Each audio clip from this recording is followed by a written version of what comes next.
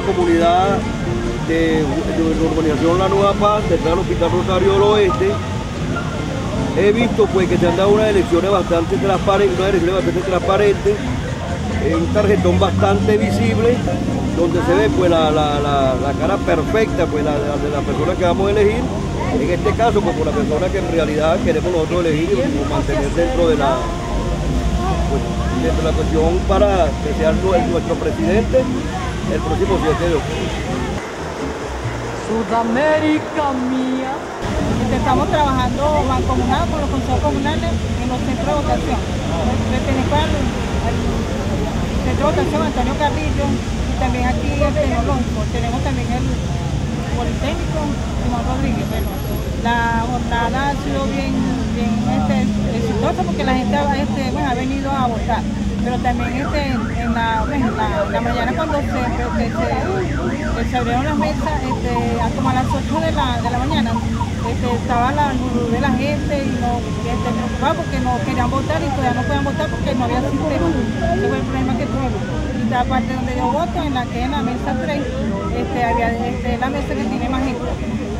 Y entonces estaba un poco estancada, entonces tuvimos que llamar la atención a los operadores que estaba pasando para que la parte de la, de la, otra gente vinieron a hacer este, a, bueno, a protestar, se están metiendo con los abuelos, no respetaban a las personas, los abuelos, hablando mal de la gente y eso, entonces, aparte de aquí se fueron para, para la Lima Costa, sabotear la Lima Costa, nosotros preocupados, teníamos que este, pedirle esfuerzo para allá para pedirle ayuda que que no, pues, que no hubiera violencia, que nosotros este, este es un simulacro, llamando a la participación de la comunidad para que sepan que, que dónde están pues, la, la. Buenísimo, que este, no, todo tranquilo, sabían dónde iban a votar. El proceso me pareció excelente. De verdad no, este es mejor que el anterior y no, no hay que. Este ente como tal es un ente muy preciso, el CNE es transparente, no está metiéndole mentiras ni engañando a nadie, sino que aquí la gente viene prácticamente a hacer lo que, en realidad pues, hacer como venezolano y a mantener una verdadera democracia. Muy bueno me pareció el proceso, porque la gente vino por su propia voluntad, eh, se articuló a la calle, salió a votar a la calle, siente la necesidad de salir, de verdad que vivimos una verdadera democracia.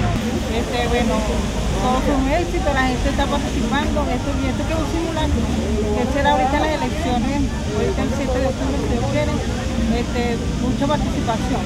Este, estuvimos trabajando con mancomunados con los, pala- los jefes de patrulla, los patrulleros que ta- también este, estuvieron este, este, trayendo la, la, su patrullero. Y bueno, este, bueno, este es, un éxito.